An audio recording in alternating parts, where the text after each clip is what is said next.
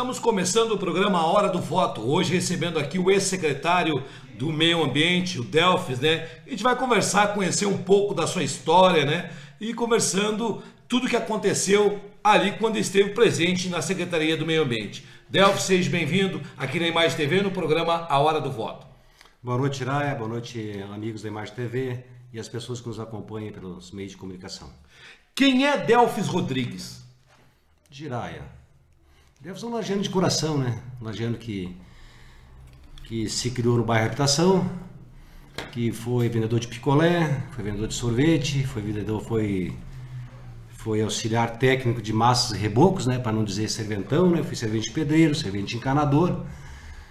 E me criei na região do bairro Habitação. Com 18 anos fui para o exército, como todos os jovens fazem, e a partir dali eu entrei por necessidade de ter um emprego na Polícia Militar de Santa Catarina, prestei um concurso público, fui aprovado.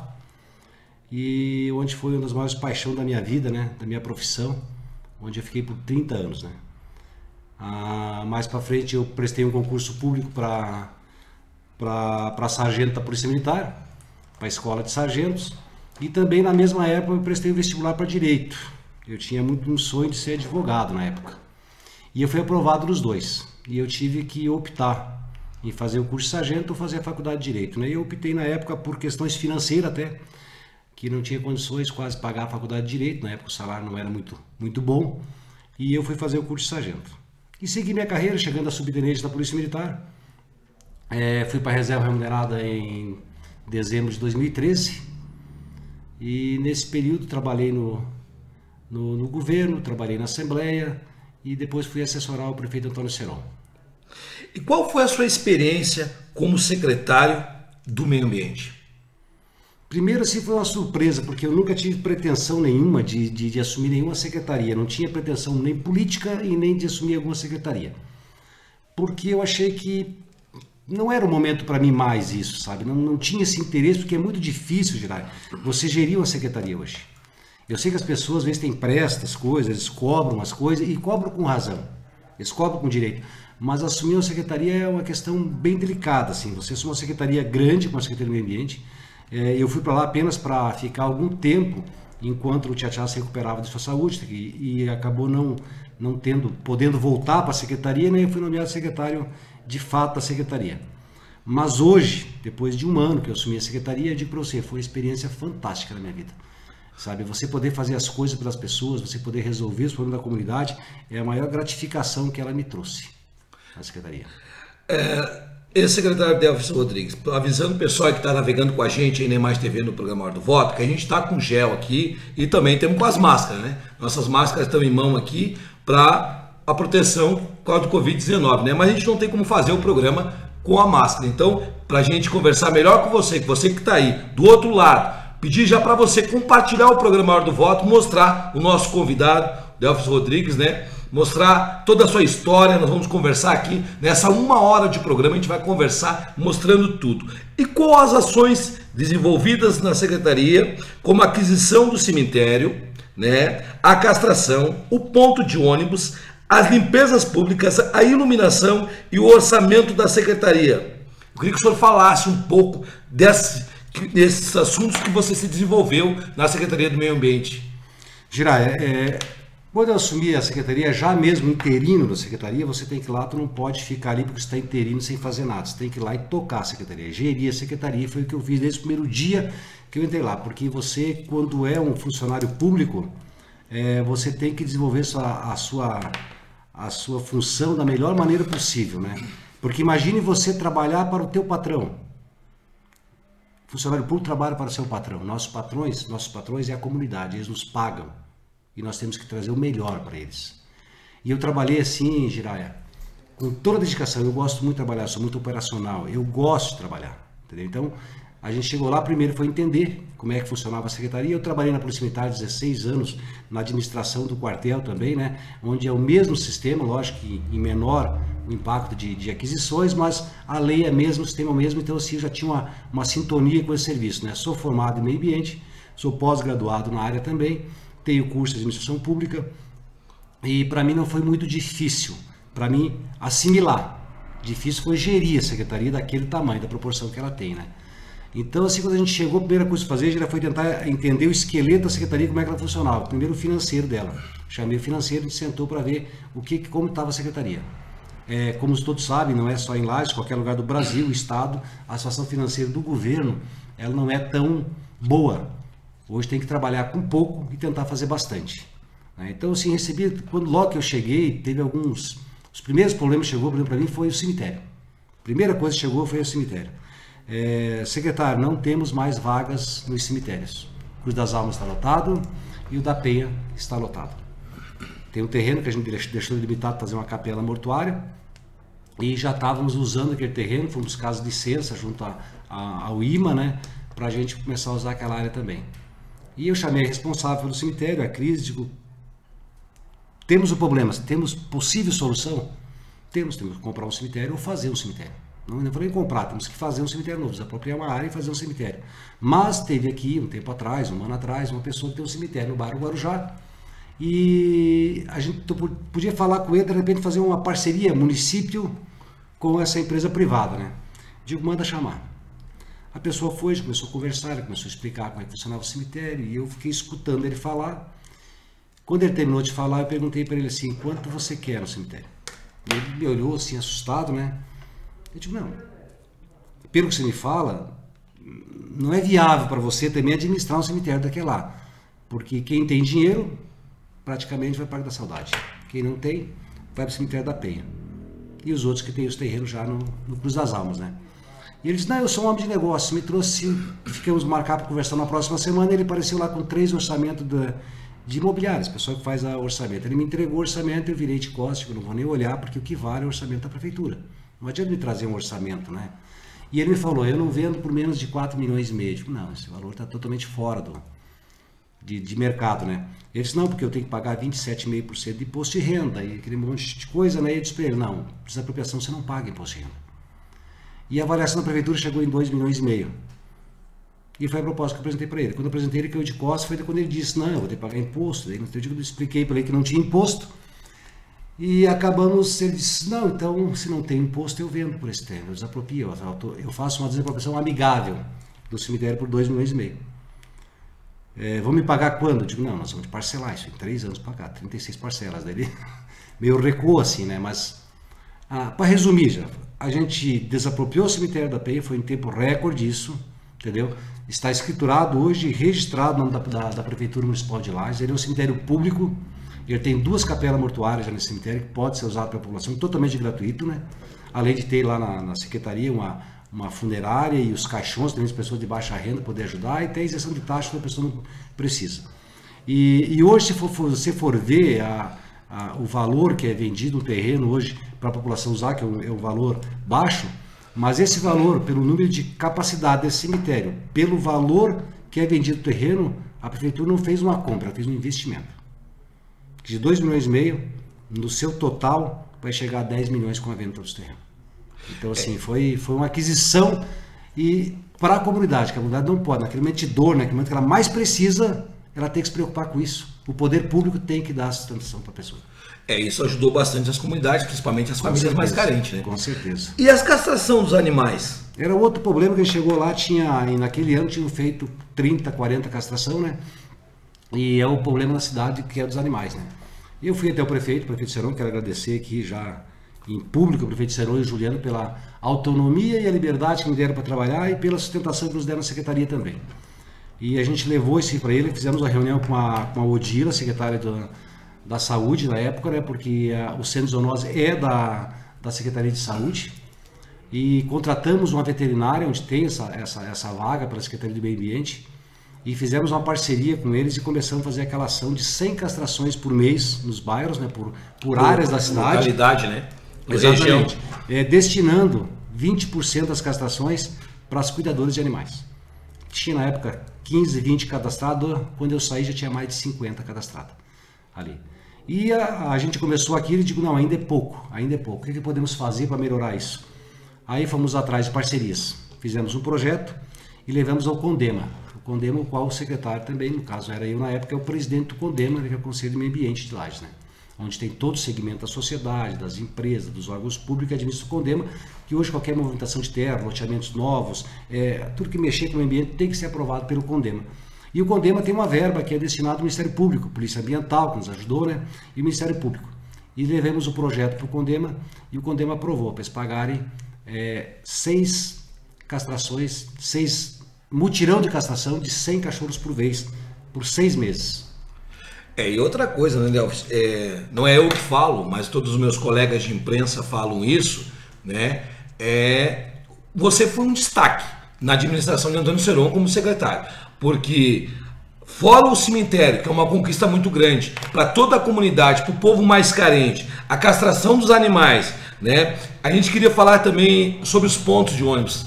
Os pontos de ônibus bonito, uma coisa diferente, né? Ah, um novo mundo que surgiu na, nessa administração tua no meio ambiente. Ponto de ônibus, as limpezas na cidade, nas comunidades. Eu vi, a gente viu assim da imprensa que você estava muito preocupado, principalmente com as comunidades.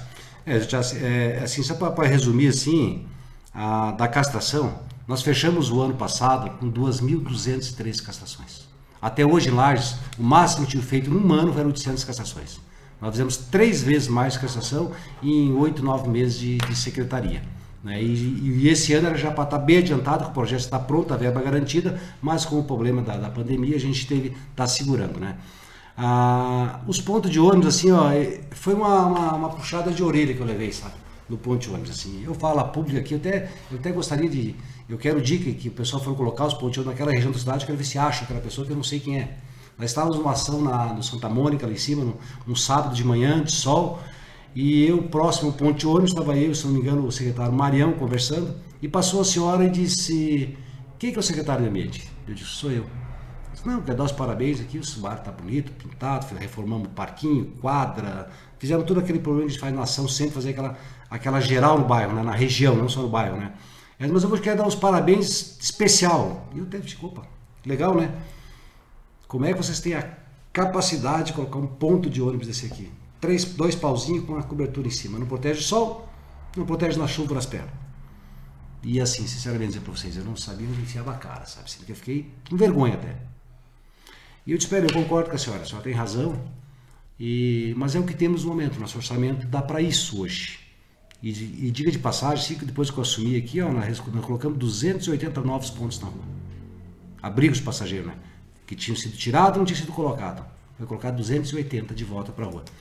Em cima disso, eu fui até o prefeito e digo, Serão, eu estamos ultrapassados. Nossa cidade é uma cidade grande, uma cidade bonita, uma cidade aconchegante, mas o nosso abrigo de ônibus, nós temos que fazer alguma coisa para melhorar isso. E ele disse, tem a solução ou só tem o problema? Eu digo, não, eu tenho a solução também. Porque eu fui, eu vi numa reportagem, porque muita coisa nada se cria, né? se copia também, né? Eu vi a reportagem do Tarcílio Costa, que tinha colocado os pontos de ônibus, eu peguei o meu veículo, e fui ao Tacílio Costa conhecer os abrigos de ônibus que tinha colocado lá. E os abrigos, fui até o secretário responsável, inclusive conversei com o prefeito, Chuliga, época, fui lá visitar ele e perguntei como tinha sido, os valores que saíram. E a gente, eu voltei, trouxe o projeto já para o prefeito, fui no CEPLAN e conseguimos encaixar essa licitação junto com o Finisa. É, então, assim, nós listamos 200 novos abrigos de ônibus para. Modelos aqueles da Dom Pedro II com... Só que eu mudei, tirei o vidro e coloquei o policarbonato do lado, porque o vidro tu quebra, a pessoa pode se machucar. E o policarbonato, se jogar uma pedra, vai quebrar também, mas não vai dar estilhaço, pelo menos, né? Então o ponto é aquele padrão, Girai. Padrão do Pedro II, nós conseguimos encaixar é, 80 pontos pelo Finisa, porque são as ruas onde o Finisa vai fazer. Onde vai ser feito o asfalto ali, na, nos bairros, a gente pode colocar junto pelo Finisa. E 120 pontos por recurso próprio. E o LED nas iluminação ali? Era o LED é uma coisa assim, ah, é, por isso que eu digo assim, na administração pública muita coisa pode ser feita. É, às vezes pessoas querem, tentam e não, não conseguem fazer. Mas tem muita coisa que poderia ser feita e não se vai atrás. Para fazer alguma coisa já tem que fuçar, tem que ir atrás, tem que mexer, tem que bater de porta em porta, né? E o LED foi assim, foi uma ideia que a gente viu aí também lendo sobre isso, né? E a gente trouxe o projeto Cidade Iluminada, que são cidades inteligentes nós instalamos em Lages. E começando pela iluminação de LED, né? Então foram feitas aí as LED das principais avenidas, é, com um programa fantástico, que ele baixa aí 60% da, da economia de, de luz e te deixa de colocar aí 14 toneladas hora de gás carbônico nas atmosferas, é, com isso protegendo o meio ambiente, que é uma área que eu protejo muito, que é a área animal, e do meio ambiente, que é uma área que eu, eu trago para mim porque eu gosto e vou proteger assim, mesmo fora do cargo, eu vou tentar ajudar sempre, né? E a LED foi uma, a gente conseguiu trazer e vamos ver.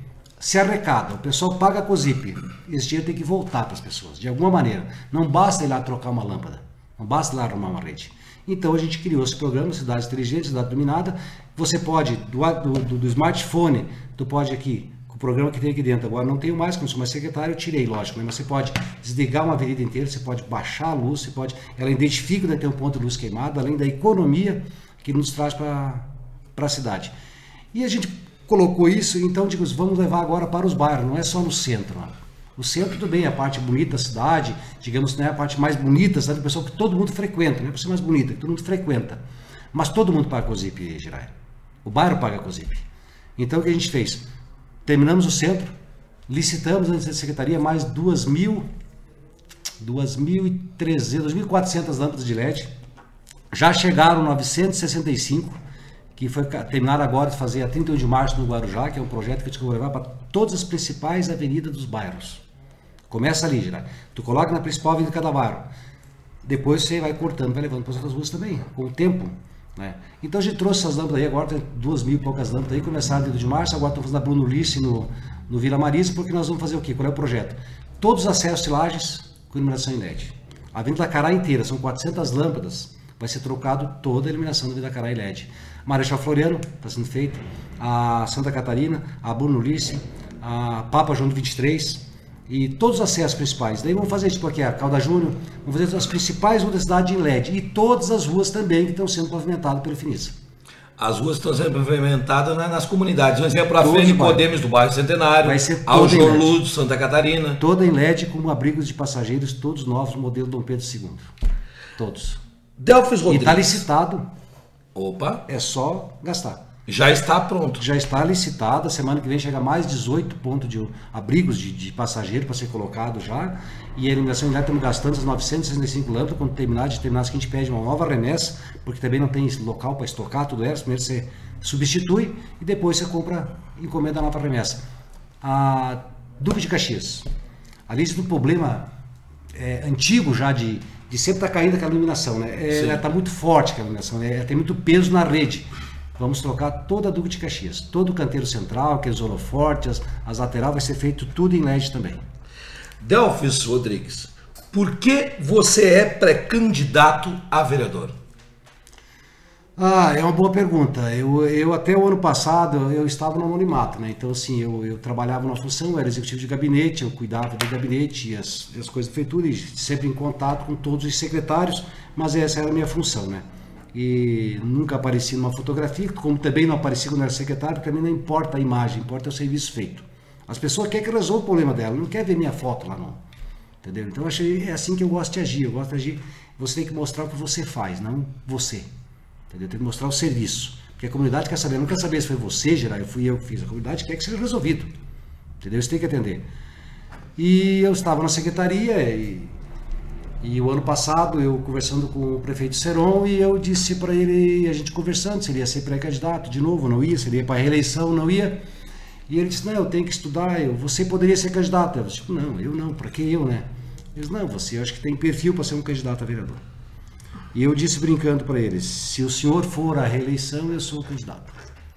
Mas eu não esperava também que o senhor não viesse para a reeleição, né? Que ele ia ter essa coragem, né? Com a idade que ele tem, com todos os problemas que é ser o prefeito. Hoje tem um troféu para quem quer ser prefeito, porque é só pepino, né? É só, é só gerir uma coisa é, complicada, que é tu gerir a máquina pública. Né? E eu aprendi isso na secretaria, como que se gere uma máquina pública, não é fácil.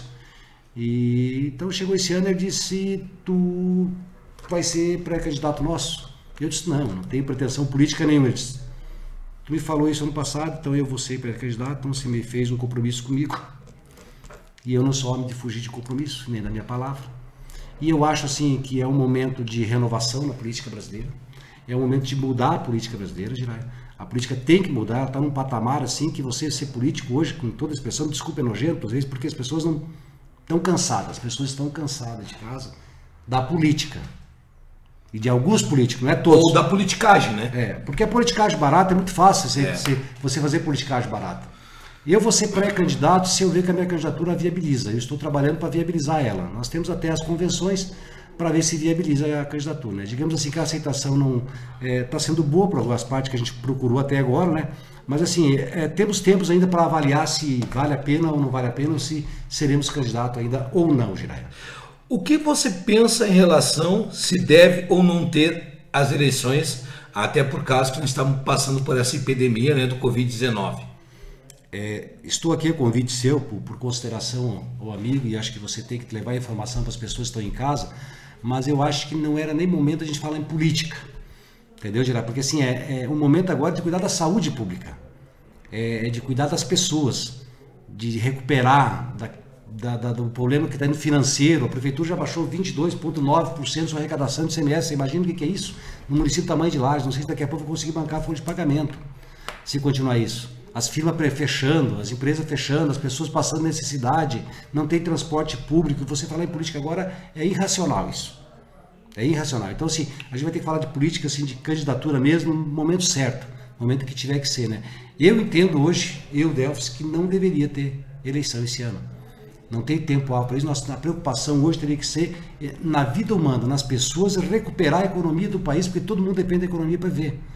Então, assim, eu acho sim, que hoje existe um tal de fundo partidário, com todo o respeito, esse fundo partidário, se eu for pré-candidato, se eu for candidato, pode consultar minha conta, ela vai ser pública, porque nos adesivos e, e santinho que existe, vai estar lá o CNPJ né, do candidato. Não terá, não terá um centavo sequer na minha conta de dinheiro de fundo partidário. Então, eu não aceito. Então, o senhor secretário, esse secretário Delfos, então o senhor é a favor que pegue o fundo partidário, e envolva todo esse dinheiro no, no, problema que nós estamos vivendo no país com hoje. Certeza, com certeza absoluta. Esse dinheiro já deveria ter vindo para a saúde, para ajudar as pessoas, para investir para que possa se recuperar a economia do país também, que o presidente pegue esse dinheiro e possa destinar para os estados, os estados possam passar para o município. Não é, é, é, é, um absurdo, mesmo que nós tivéssemos visto essa pandemia, mesmo que não estivéssemos girar, eu não aceito fundo partidário na minha conta. Eu vou fazer, eu vou gastar na campanha a munição que eu tiver a munição que eu tiver. Vou colocar uma mochila nas costas. Eu fui um soldado a vida inteira, eu fui um guerreiro, eu fui, eu fui um, um, combatente. E eu vou fazer da mesma maneira na campanha. Eu vou colocar minha mochila nas costas e vou gastar a munição que eu tiver. Mas eu não aceito dinheiro de fundo partidário, porque esse dinheiro poderia ir para a economia, dinheiro poderia ir para a saúde, para a educação e para a segurança. Eu acho que tinha que pegar esse dinheiro, colocar tudo no governo federal para se passar para os estados, aos municípios e acabar com esse fundo partidário também. Né? É, eu respeito, respeito a política. Eu sei que para me eleger eu preciso do partido político, mas esse tipo de coisa, não. É, Delfis, outra coisa que eu te perguntar, como foi a sua experiência do lado, porque uns gostando ou não gostando, ele é o gênio da política de Lages, ele foi o governador nosso lajano, ele fez muito por essa cidade. Qual foi a sua experiência com o governador, ex-governador Raimundo Colombo? Foi a melhor possível, né? O governador Raimundo Colombo, assim, as pessoas falam dele e hoje sente falta, né? Antigamente, na campanha, Coxilha Rica era para passar na frente da, da fazenda do Raimundo. Hoje é a salvação da lavoura. E vai ser mesmo, o maior celeiro de fazenda. Laje será o maior celeiro de Santa Catarina com a região da Coxilha Rica. E eu fui, faz três semanas, três semanas domingo, eu peguei meu carro, fui lá onde é que terminou o asfalto, na Rica. Eu fiz isso. Eu zerei o velocímetro do meu carro e eu fui pelo outro lado para a estrada de chão até para passear, conhecer a Coxilha Rica, as nossas riquezas naturais que nós temos, né? 27 quilômetros até na frente da, da fazenda do Raimundo Colombo. E o pessoal dizia que o asfalto passava na frente da casa do Raimundo Colombo. Não chegou nem perto. 27 quilômetros para chegar lá. O Raimundo é uma pessoa centrada, é um grande líder de Lages, sempre vai ser, vai demorar para termos em Lages um grande líder como tivemos Raimundo Colombo. Raimundo Colombo é um homem da, que ele tem uma, uma paciência, um jeito de administrar que talvez as pessoas não gostem, mas ele, ele administrou um Estado com responsabilidade. Ele entregou um Estado sem escândalo. Ele entregou um Estado redondo. Ele entregou. É, algumas coisas não puderam ser feitas, porque na administração pública as coisas não andam na velocidade que deveriam andar. Então, assim, Raimundo Colombo, meu respeito e eterna gratidão por ter nos representado em Lages. Não sei quando de novo teremos o governador lagiano. Nós temos que preservar essa imagem, preservar essa pessoa que fez muito para nossa terra, fez muito para nossa cidade e é um lajeano de coração, um lajeano de raiz que aqui vive, entendeu? Eu respeito muito, respeito a opinião de cada um. Cada um é cada um, né? Você não pode definir as coisas, nem os dedos das mãos são igual, né? mas eu tenho meu respeito por Raimundo Colombo. E a tua experiência lá, secretário Delfos, você esteve lá no, no chão, né? Na casa onde tudo era votado, onde ia as verbas para os municípios, né? Para as regiões, para os para o estado. Como foi a tua, a tua experiência lá também dentro da Assembleia Legislativa? Foi ótimo, a gente aprende muito, né? A gente aprende muito lá dentro, né? Dentro da Assembleia Legislativa, né? É, foi uma experiência ímpar para mim, né? Eu acho que tudo que você agrega, assim, né? Como fui trabalhando na coordenação de segurança do, do, governador do estado também, a gente conheceu muita gente do estado inteiro e a gente pôde acompanhar tudo que foi feito, que não foi, os problemas que tinha o estado, problemas que não tinha, e na Assembleia também não foi diferente, né? Mas foi uma experiência que a gente vai. É uma grande bagagem, uma grande bagagem na, que a gente pode levar para o resto da vida, né? Mas digo assim para você, assim, ó, em administração pública, entre governo e Assembleia, a minha maior escola foi ser secretário do meio ambiente. Porque ali, meu filho, ali você tem 280 colaboradores, funcionários. Você tem 10 pastas agregadas. Tu tem uma cidade inteira para gerir e para administrar. Ali, ali tipo do bicho pega, ali é complicado. Você trabalha de manhã, de tarde, de noite, sábado e domingo e vai para casa, porque durante o dia você tem que atender as pessoas, você tem que programar, você tem que ir atrás de licitação, você tem que comprar, você tem que gerir e você tem que fiscalizar fiscalizar, acima de tudo, o serviço público. Né? O orçamento tem que dar para 12 meses. Então, ali para mim foi a maior lição que eu tive, a maior escola que eu tive foi ser secretário. Porque eu, eu o dia que eu assumi como secretário, eu digo assim: eu tenho um patrimônio na minha vida, é, Girai, que é o patrimônio moral. Eu não nasci em berço ouro, eu fui servente pedreiro, vendi picolé, eu me quei no bairro habitação, meu pai mora no habitação, meu bairro, meu coração até hoje, eu já te falei, isso meu bairro meu coração, eu moro no bairro da Brusca hoje, mas o bairro do meu coração ainda é o da habitação. E eu trouxe um patrimônio que é da minha família, que é meu, patrimônio moral. E eu disse, eu vou entrar aqui, eu quero sair, colocar minha cabeça no travesseiro e quero dormir, descansado. Eu chamei o financeiro, que é o Paulinho, disse, Paulinho, eu não quero 100% de transparência na secretaria, eu quero 1000% de transparência na secretaria. 1000% de transparência. Porque a escola da vida e a linha militar me ensinou isso. Eu tenho que ter uma conduta tem que ter moral para fazer as coisas. Isso ninguém vai me tirar. Ninguém me tira isso. Por que a escolha, né? A escolha, secretário Delfis, eu sei que a escolha sempre vem do prefeito, mas o senhor também, por ser o secretário, também tem que deixar alguém que trabalhava com o senhor e conhecia como era o andamento da Secretaria do Meio Ambiente.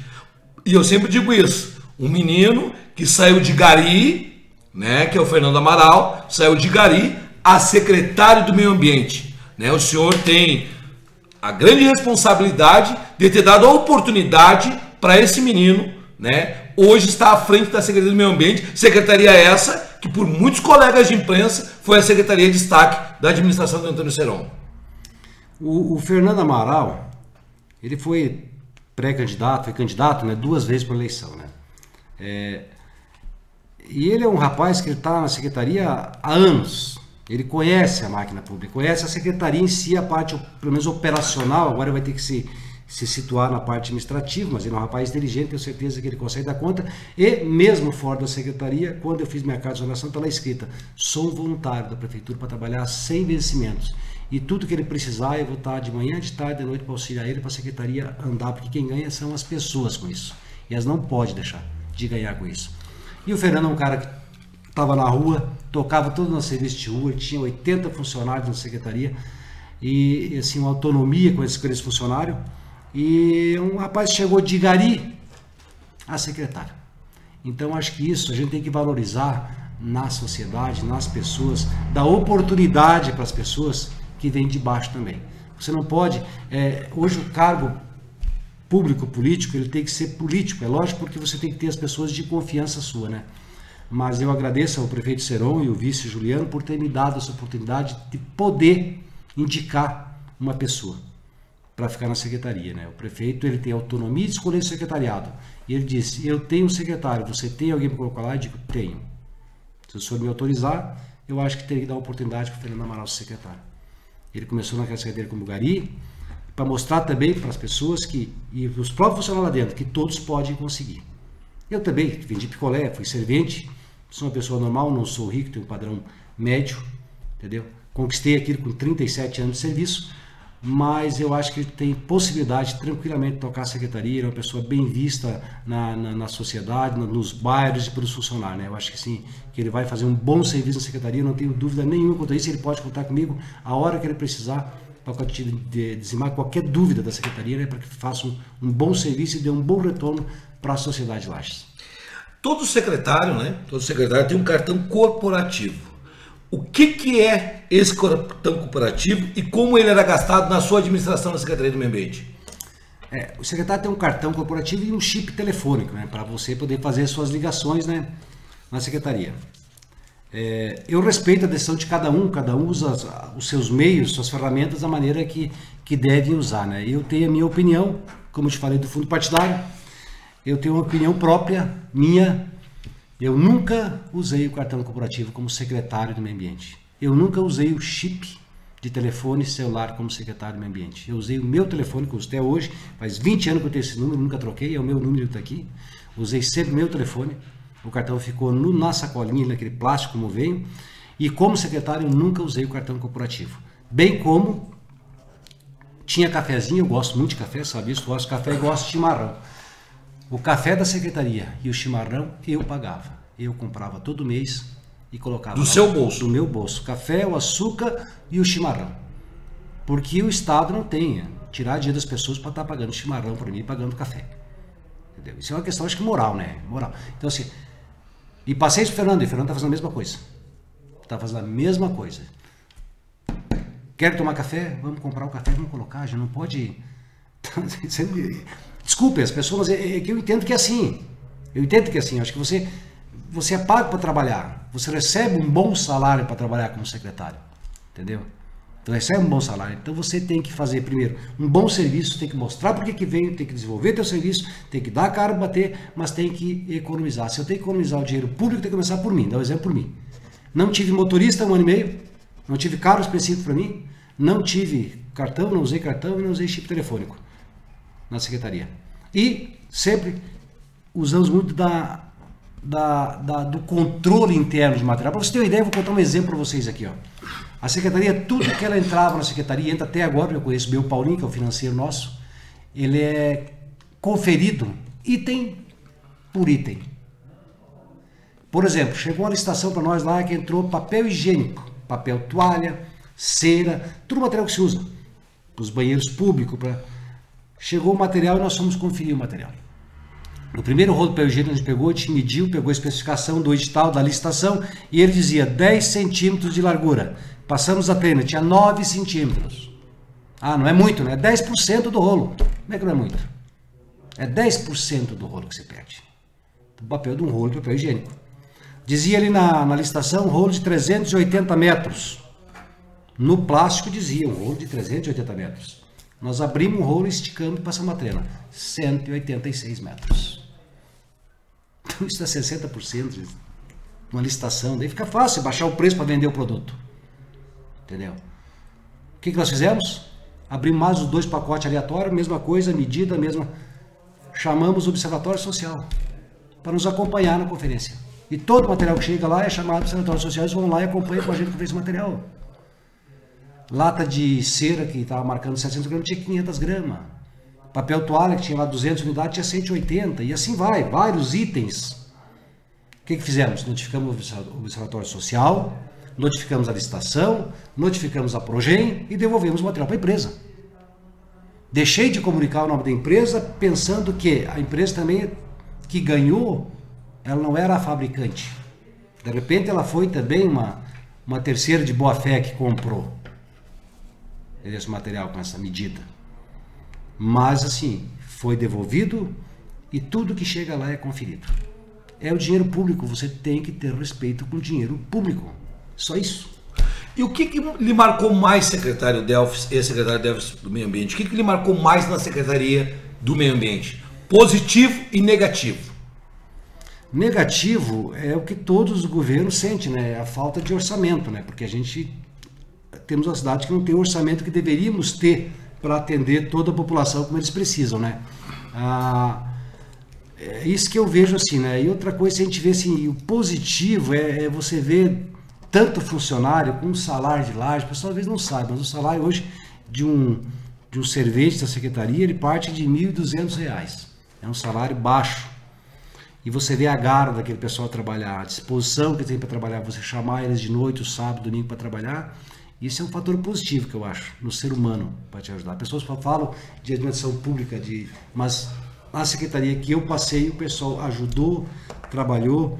E o positivo foi assim, mais também assim, você conseguir colocar as ações tuas, você conseguir fazer que todo secretário coloca o seu ritmo. E eu tive o meu ritmo. Eu observei a secretaria enquanto estava interino. A partir do momento que eu assumi de fato, eu coloquei ela dentro do meu ritmo. Mudei pessoas, não tirei ninguém, só mudei, acertei, mudei de salas, coloquei a parte operacional. Hoje, para você ter ideia, na secretaria, tudo, desde que eu assumi, é, se quiser saber, todos os serviços que foram feitos, tem todos catalogados. Todos pessoa faz o pedido, é feita a planilha, colocado no computador, entregado para a equipe, ela faz, anota o dia que fez, o horário, devolve e é dado baixo de novo. Controle. Controle de material, controle de pessoas, controle de combustível, controle de iluminação, controle das pessoas e controle dos funcionários. Então isso sim é, é, isso é gestão. Tu tem que gerir. Gestão.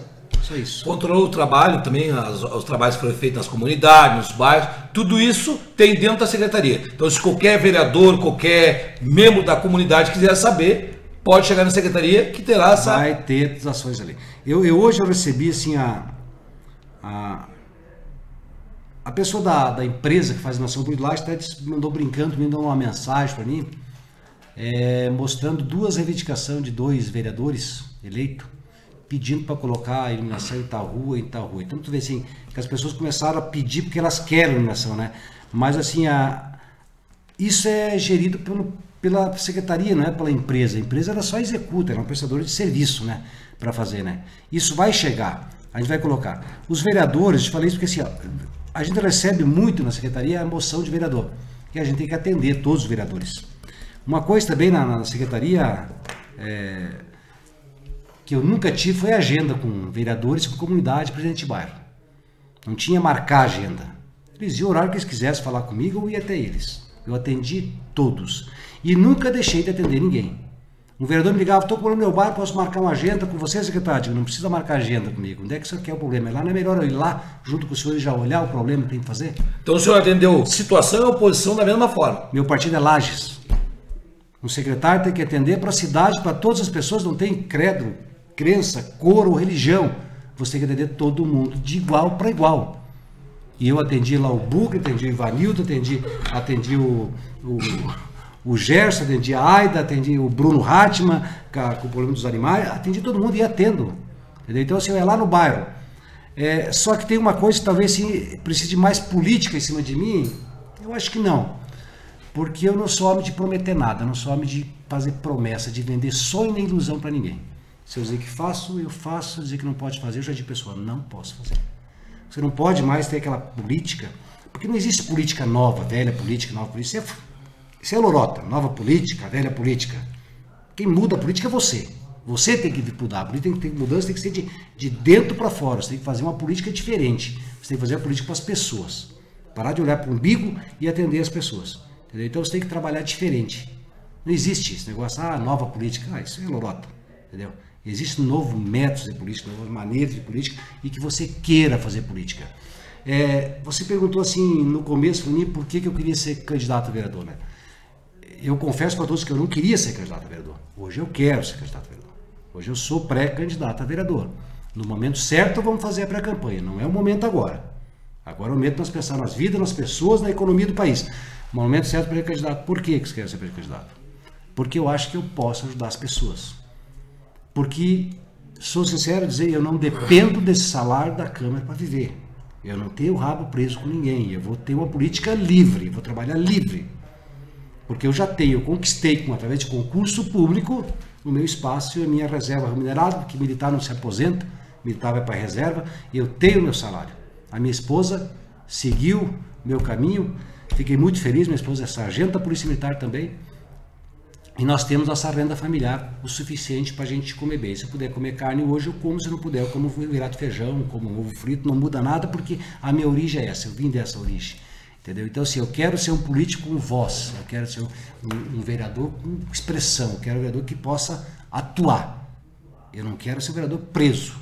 Se for para isso, eu não vou ser vereador. A polícia tem que mudar. Ela tem que mudar. Se você vai lá por causa de salário, por causa de status, para tirar foto, ficar na imprensa, ficar na mídia, então fica em casa. Né? Então acho que tem que mudar. Você tem conhecimento. Eu acho que eu adquiri uma bagagem de conhecimento na política, adquiri uma bagagem de saber como é que, que gira a máquina pública, como é que trabalha a máquina pública, e eu posso colocar isso em execução. Não vou fazer promessas na minha campanha, porque o povo está cheio, as pessoas gostam de mentira, né? mas se for por mentira, eu não vou ser eleito. Porque as pessoas prometem rua, prometem, promete, é, ponte, promete capela mortuária. O Giraia, vereador não tem máquina. Vereador não tem rede escavadeira, vereador não, vereador não tem patrola, vereador não tem. Quem tem é o poder executivo. O vereador tem que dizer que a comunidade, eu vou com você, vamos ver o problema, vamos levantar e vamos levar para o poder executivo. E vamos cobrar que seja feito. Agora, não prometa fazer uma coisa que você não tem. E o que mais se vê é isso, é prometer as coisas. Então, assim, ó, você tem que trabalhar com responsabilidade. Eu quero trabalhar e dizer assim, eu vou trabalhar porque eu gosto de trabalhar, eu tenho tempo para trabalhar, eu tenho disponibilidade para trabalhar, eu não tenho outro compromisso fora, eu já estou na reserva e eu gosto de trabalhar. É isso que eu quero fazer. Legislar e fiscalizar e muito a máquina pública. Qual é a sua avaliação, secretário Delfis, da administração de Antônio Seron?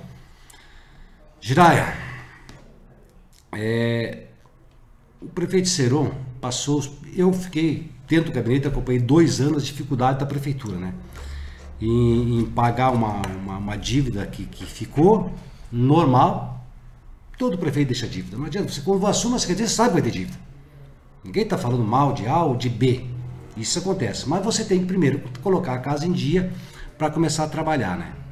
É, com todo o respeito que eu tenho assim a todos os prefeitos que passaram lá, mas eu tenho assim uma marca do prefeito Passou em Lages que eu lembro assim Raimundo Colombo, porque ele foi um cara que viabilizou nossa cidade, com as avenidas, Camões, Presidente Vargas, rodoviária, rodoviária Dom Pedro II, Marechal Floriano, Duque de Caxias. Ele foi um homem de obras que mostrou a cidade, né?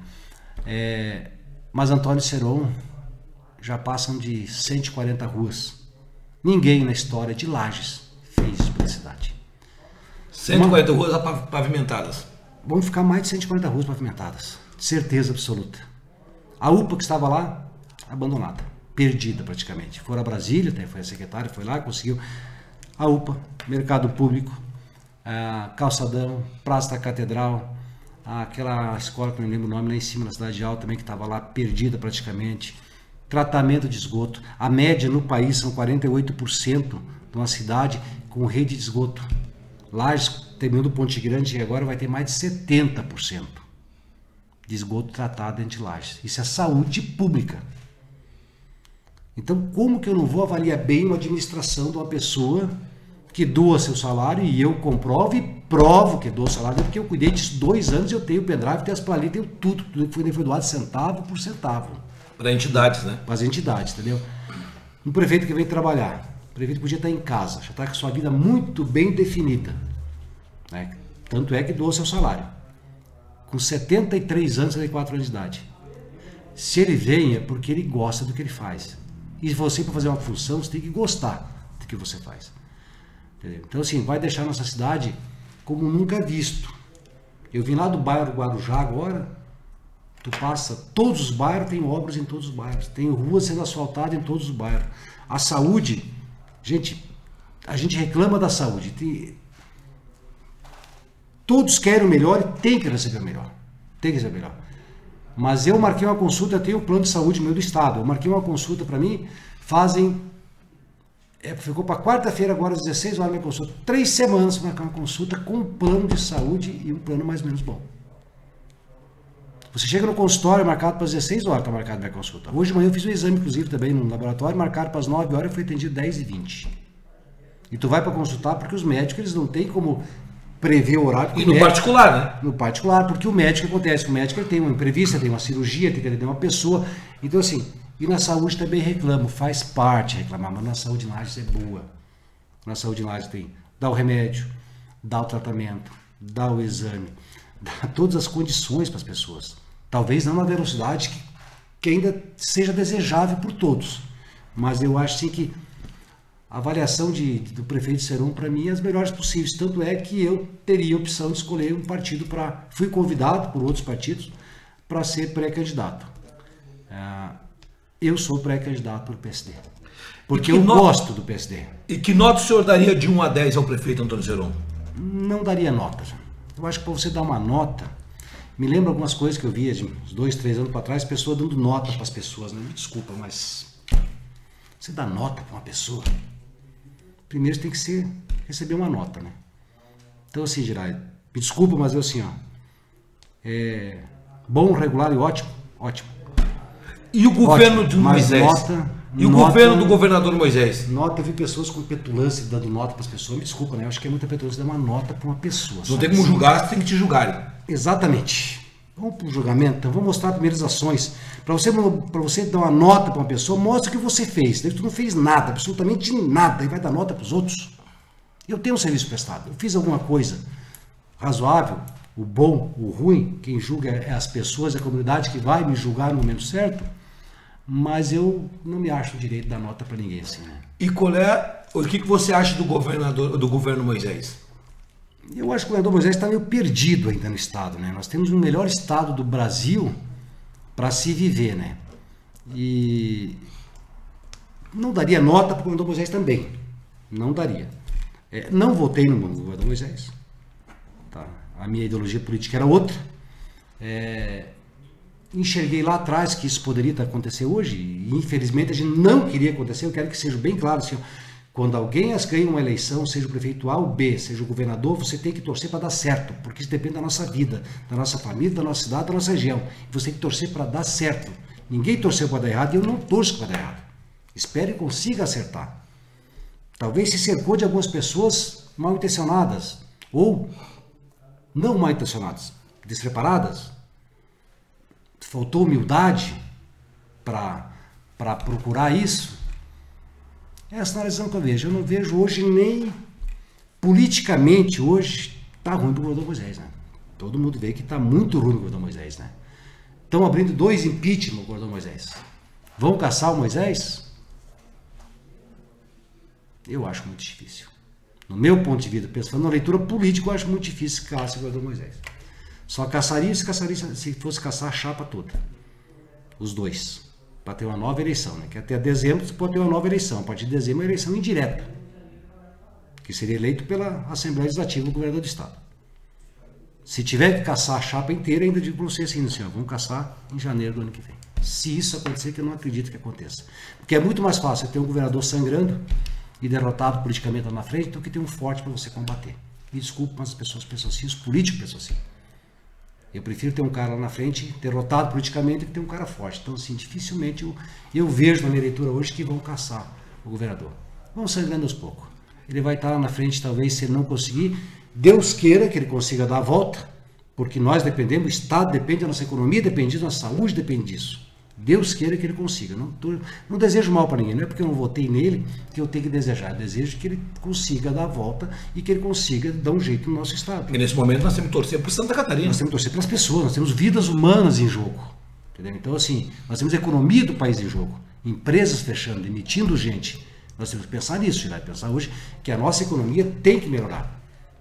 E o que, que você tem a dizer do governo de Bolsonaro? Eu votei em Bolsonaro. Eu votei em Bolsonaro porque não tinha outra opção para me votar também, vou ser bem sincero também, né? É... Não tenho nada contra partido político, mas se tu falar politicamente Delfis, eu tenho dois, três partidos que não estão dentro da minha ideologia, da minha educação, do que eu estudei, do que eu li sobre esses partidos e sobre o que eu conheço da história. Eu sou uma pessoa que li bastante, que gosta de estudar, gosta de ler, então assim, alguns partidos não se encaixam. E sobrou o presidente, porque acabou dando carona para muita gente no, no, país, né? inclusive o nosso governador que está aqui hoje, eleito, a, a ser governador. Né? Então, diz assim, que a pessoa tem voto, não. Se fosse você o candidato, fosse eu, tinha teria a mesma coisa. Então, assim, carona. Entendeu? Eu vejo assim que naquele momento foi o melhor para o país. Hoje também está sendo o melhor. Ele tem um defeito de falar demais algumas coisas talvez sem pensar. Ele fala o que ele pensa, né? Ele chega ali, ele fala, ele joga no ventilador as coisas, né? Mas eu acredito que ele vai dar jeito no nosso país ainda. Eu ainda acredito no Bolsonaro. Ex-secretário Delfis, me perguntaram para mim qual é o seu apelido no bairro Habitação. Pancho. Por que esse apelido? Quando eu era bem jovem ainda, 14 anos, eu fui morar no bairro Habitação, eu e meu irmão apelidaram, nós dois, tinha um desenho na televisão, tinha Pante Cisco, né? Então eu era mais gordinho, ele mais magrinho, né? Então apelidaram Pante Cisco, né? E eu não aceitava o apelido, não dava bola, reinei, briguei, o apelido pegou, Pante. Do meu irmão não pegou o apelido, né? Então hoje no bairro Habitação, é, chamar por Eroni, que é meu primeiro nome, meu pai e minha mãe. Delfis, 10%. Pante, os outros 80%. Me conhecer por Pante no bairro Habitação. E eu gosto muito do apelido. E hoje ele chega na habitação lá a ver aquela, aquela juventude que, que viveu com você lá, que é, construiu com você a tua história lá. Como é que tu te sente quando chega na habitação e vê um amigo de infância? Eu estou sempre no bar habitação, então eu vejo sempre pessoal lá, né? Porque a minha mãe não está morando ali agora, que meu pai não vive mais junto, mas mora do ladinho, minha tia mora lá na casa da minha avó e meu pai mora lá e eu vou duas, três por semana visitar eles, né? Então eu estou sempre em contato com com as pessoas ali mais próximas, mesmo de onde meu pai mora, porque o bairro é um bairro grande, né? Então, assim, eu me sinto em casa, né? Porque eu me criei ali, né? Me criei por aqueles campos, me criei caminhando por aquelas ruas com o pessoal. Então, tem muita gente ainda da nossa época ainda que ainda está lá, né? Hoje eu tenho um, um pessoal já diferente, ver outras pessoas, né? Mas muita gente que a gente encontra na rua e ainda nos reconhece, a gente reconhece eles também, né? É muito bom, né? Eu, eu gosto daquela relembrar né, a juventude. Não, eu me criei ali, né? Então eu, eu saí do bairro Habitação assim, de vez mesmo, que eu vim morar ali, que eu vim, fixei os desses mesmo. Eu, digamos, eu tenho 54 anos hoje, digamos que mais de 30 morei na habitação, mais de 30 anos no bairro Habitação. Mais de 30 anos na bairro Habitação. Joguei, Onde... fui jogador de futebol, não parece, no meu corpinho aqui, mas joguei pro, pelo time da habitação. Mas ganhou algum título? Ganhávamos. Tinha naquele tempo era o nossa, mãe. O Nacional da Habitação. Não, tinha o time da habitação, mas tinha outros, outros nomes, não é o Jocol hoje, era os outros nomes que tinha, né? Mas ganhamos campeonato, perdemos campeonato, né? Então, mas joguei, joguei Mas hoje, hoje o ex-secretário Delvis não joga mais. Não, eu até gostava de jogar um futebol de suíço, mas eu tive uma distensão na minha perna. E daí. É, hoje a gente não joga mais. Hoje a gente só dá espetáculo, sabe? O pessoal pede sim, mas não joga mais, tá? O que é família para você, Delvis? Tudo, né? A base, né? Família é minha base. Minha família é a base de tudo para mim, né? Então, assim, nada se faz, nada se constrói sem uma família, né? Então, minha família hoje é. Eu sei, Delfis, que é difícil, né? E, é, desculpa ter entrado nesse é assunto, mas, mas, família é tudo. A gente, né, o Delfis teve uma coisa muito triste o ano passado, né? Quando ele perdeu seu filho. Né? É, então, é, então, é, uma dor que fica bastante na gente. A gente que é pai, a gente sabe que um filho hoje é tudo, né? Mas onde sua esposa estava de aniversário? Tava, onde minha esposa estava de aniversário. A gente comemorou com os amigos, com a família, né? virtualmente, né? Porque daí não tinha como fazer, né? Mas eu tenho quatro filhos, né? Três estão comigo, Deus não, um já não está mais. É, o ano passado, Girai, assim, foi um ano de muita aprovação para mim, assim, sabe? Foi um ano muito difícil na minha vida em tudo, assim, né? Porque eu assumi uma secretaria onde eu não esperava assumir, não tinha aquela pretensão, a gente foi para lá para ajudar né, e acabamos ficando. Né? Então é uma responsabilidade muito grande assumir a secretaria. Você tem que dar tudo de você na secretaria. E o ano passado também, um atrasado já, né, minha esposa prestou um concurso público, para concurso pra, de sargento e ela passou. Então, dia 27 de dezembro de 2018, ela foi fazer o curso né? Florianópolis o curso. E ficou até o dia 29 de outubro de 2019 fazendo o curso lá em Florianópolis. E eu fiquei em Lages, com dois filhos pequenos, para dar jeito. Café, almoço, janta, colégio, tarefa, a secretaria para tocar e dando atenção para minha esposa também e passando um perrengue aí com a doença do meu filho, né? que Deus levou ele. Dia 19 agora, daqui um mês e uns dias faz um ano. É uma dor muito grande. Eu passei um ano assim muito difícil ano passado. Foi um ano muito difícil na minha vida, sabe? A gente teve conquistas pessoais, conquistas profissionais, a família teve conquista profissional, Mas enfim, né, Girai, a vida é assim, né, e a vida segue, né? Então temos que olhar para frente, né?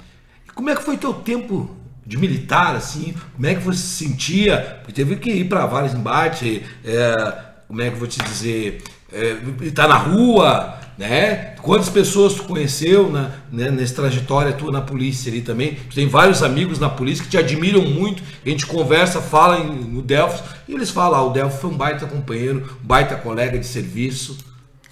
Ah, a polícia militar é, é uma escola para gente, a vida militar é uma escola para gente, né? Tem um exemplo para vocês aí, o colégio militar. Quem não quer colocar o filho no colégio militar? Por quê? Conduta, doutrina, disciplina, é, te dá um norte na tua vida, né? E a polícia militar para mim é, é, você a polícia militar, se tu chegar para qualquer policial, vai dizer assim, todo mundo diz, a polícia militar é a nossa segunda casa. Porque às vezes está na primeira, você passa mais tempo lá do que a nossa família. É, ela nos tira a liberdade, ela nos tira talvez a nossa família perto de nós, porque quantas noites você passa acordado, quantos Natal passei trabalhando, quantos primeiros de ano passei trabalhando, aniversário do meu pai, do meu filho, entendeu? Mas eu escolhi, se eu escolhi eu tenho que abraçar aquilo. E eu amo minha profissão, eu cheguei de soldado a subtenente também na Polícia Militar, que é a última, a última promoção que tem dos praças, né?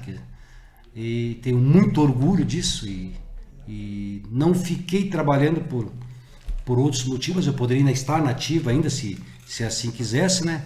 É, mas foi muito bom, a gente passou momentos bons, momentos ruins, a gente atendeu ocorrências que marcaram muito a vida da gente, a gente passou por problemas em ocorrências policiais que a gente não deseja para ninguém, né? Porque porque você vai para o embate, né? Você vai trabalhar, então acaba às vezes acontecendo algumas coisas que não, não é para acontecer, né? O importante na vida militar de um policial, já digo assim para vocês, assim, e digo para meus amigos policiais, se tiver alguém nos assistindo aqui agora, dizer primeiro o meu respeito, minha gratidão e meu carinho que eu tenho por vocês. Primeiro tudo isso, porque enquanto todo mundo está dormindo, vocês estão na rua patrulhando a cidade e dando segurança para todos. Eu digo só para vocês policiais que uma vez o subtenente, que foi meu padrinho de formatura do curso sargento, me ensinou: distinga a tua vida pessoal, teu nome, o Delfis do policial. Quando você faz alguma coisa, está investido o poder de polícia. É a farda é a tua função que fez. Não, foi você. Você é o ser. Lá é a tua profissão. Se você conseguir, policial, distinguir essas duas coisas, você vai ter uma vida tranquila, com a cabeça travesseira dormindo, tranquilo, fazendo a coisa certa. É isso que tem que fazer. Foi bom. Foi muito bom. Delfis, eu queria que tu fizesse as considerações finais. Primeiramente, te agradecer né, por ter vindo no programa Hora do Voto, para as pessoas te conhecer mais. Né? O programa Hora do Voto quem sentar do meu lado não tem agressão, a gente nunca vai criticar nenhum convidado, pelo contrário, a gente quer que ele mostre quem ele é. Né? Até porque o povo que está assistindo ele quer escolher um candidato para votar. Então ele tem que conhecer mesmo. Por isso foi criado a hora do voto. Né? Quero mandar um abraço também para o meu tubarão, que foi, sentou muitas vezes do meu lado para fazer a hora do voto. Hoje está em outra função na boca do povo, né? Ah, juntamente com o Jones Paulo, com a rapaziada lá, com o Marcelo, com, uma, com com o Marcelo, né, Kowalski, pessoal lá, o Damasceno, e eu tive essa incumbência de assumir a hora do voto. E aqui a gente quer, esse é o nosso papel, como Imagem TV, como programa Hora do Voto, é mostrar para você os pré-candidatos a vereadores, a prefeito de Lages também da Serra Catarinense, para você fazer a sua avaliação na hora de votar, porque o voto é muito importante, Delfos. A maior arma que o povo tem é o voto. Então, cuidado nas suas escolhas. Por isso, pense bem, analise seu candidato, conheça a sua trajetória e seu trabalho para votar em quem está totalmente preparado para te representar. Obrigado, Delfis, em nome da Imagem TV, em nome do programa Hora do Voto, né, por tu vir aqui bater esse papo gostoso com a gente, para a gente poder te conhecer mais, né, porque muitos conheciam o Delfis secretário, muitos conheciam o Delfis da polícia, mas não conheciam o Delfis família, o Delfis do dia a dia. Giras, quero agradecer as pessoas de casa que, que tiraram seu tempo para nos assistir aqui, para acompanhar o programa e dizer assim que o Delfis que, que vocês conhecem está aqui. Eu nunca mudei minha origem, nunca mudei minha, meu jeito de ser. E dizer para vocês que no momento certo, no momento que o, que essa pandemia possa acalmar, no momento que possamos ir para a rua, colocar para vocês a nossa proposta como pré-candidato, para fazer uma avaliação se é possível ser candidato ou não também, nós temos que pré-avaliar isso. escolham bem as pessoas. Não quiser votar em mim, não vota. Quiser votar no B, vota. Mas vejam bem os seus candidatos. A política está na hora dela renovar, está na hora dela é, mostrar o, o porquê de você ser político. Né? Você não pode ser político por simplesmente por ser, por querer ser ou por, ou por vaidade, né? Por vaidade, né? Então, assim, se eu estou me propondo a ser um pré-candidato no momento oportuno, que não é esse, é porque eu quero, é porque eu posso e é porque eu quero fazer, é porque eu quero trabalhar. Então, quero agradecer as pessoas no momento certo, que nos avaliem, que avaliem todos os candidatos, façam suas escolhas, o voto é livre, o voto é democrático e na hora que vai para a urna ninguém sabe em quem você vai votar. Então escolha uma pessoa que vão votar, mas faça sempre assim, ó, dá uma olhadinha no candidato, dá uma olhadinha na vida, olha nas coisas, veja qual é as suas posições. Não dizendo mais ruim nem melhor que ninguém, não sou melhor que ninguém. Então, assim, veja as suas propostas. Mas digo-se para vocês, por favor, não vendo, não vendam o seu voto, jamais. Mudem a política, porque a política tem que mudar. Se eu tiver que pagar 10 reais por um voto, eu não vou ter esse voto, porque eu não vou comprar voto, eu não vou fazer nada fora isso. Se tiver que ser, vai ser pelo nosso serviço. Avaliem os seus candidatos, avaliem os seus candidatos e façam a escolha certa no momento certo. Obrigado, Delfos. Obrigado a todos vocês que estão navegando aqui na Imagem TV, no programa Hora do Voto, né? Fique com Deus e compartilhe. Compartilhe para mostrar ainda mais a história de Delfos Rodrigues, ex-secretário do Meio Ambiente de Lages.